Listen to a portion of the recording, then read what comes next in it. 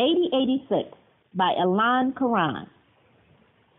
The house was as she remembered it, years older but neat, like the other bungalows up and down the block on the still busy street. The girl who answered the door was slender, with straight brown hair, the spitting image of her mother who stood beside her. You do not know me, the attractive red-headed woman began with uncharacteristic diffidence. But I used to live here. Oh, are you the daughter of Mrs. Livinghood, whom we bought the house from? The mother asked, intrigued by this unexpected visit. No, I go back farther than that, the visitor smiled. My folks sold the house to a family named Cameron. May I come in? Of course, the mother said, and she gently nudged the daughter aside so that the well dressed businesswoman could gain entrance. The woman stopped just inside the living room when she saw the television set. The image on the screen was a familiar and a startling one that might have been playing back in her days in this very house. We love the old black and white sitcoms, the daughter spoke up. My mother loved Lucille Ball, the woman informed them. I think because she had red hair like her in those earlier Technicolor movies. I have red hair too, with a little help. Can I get you a coffee or something? The mother offered. Fred will be coming home from work soon, but there's still time.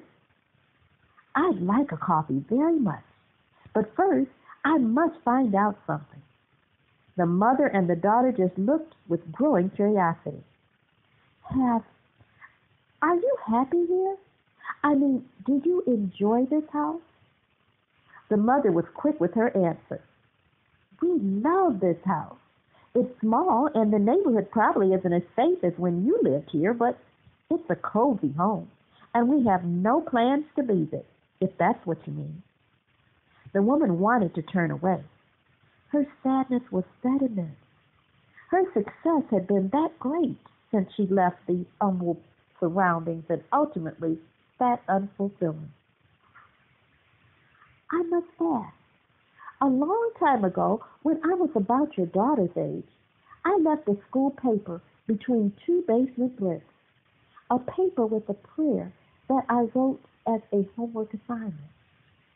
It won first place, and I was so proud of it that I hid it where no one would find it. I hid it so well, I forgot about it myself until a few months ago. What kind of a prayer was it? The daughter wanted to know.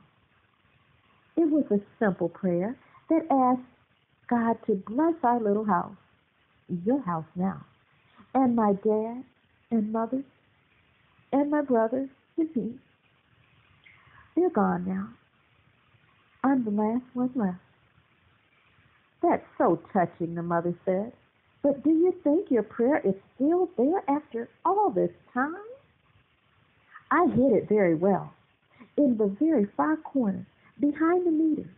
Will you let me see? Can I go look with you? The daughter pleaded. Of course you can, the pretty woman returned. I'd be honored. I'll fix the coffee. The mother watched the unlikely pair head downstairs. Life was so full of pleasant surprises, she marveled. Even here at little 8086. It made her look forward to the day when Fred could afford to pay the bank off and the house would truly be theirs. The doorbell interrupted her reverie. Fred was home.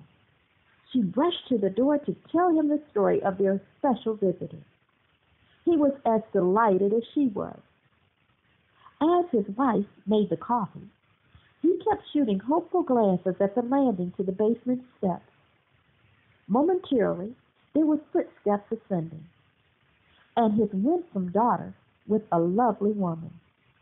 They were both crying as they held between them a discolored sheet of lined paper. It was there, Mom, the teenager snuffled. This is my husband, Fred, the mother introduced. The red haired woman covered her face, ashamed of her weakness, but proud of her sentimentality. She will let us keep the prayer, Ma. It is so beautiful, and it still applies to this house, our house. Will you let me read it out loud? If it's okay with with Ms. The woman told them her name, and they recognized it at once. She had made that resounding a success of herself in her field. They all convened in the small living room for coffee and pastries to hear the daughter's recital of the long ago prayer. In a half hour, the woman was gone to catch a flight to San Francisco with the sad, comforting assurance that the prayer was safe and working. All was well at 8086.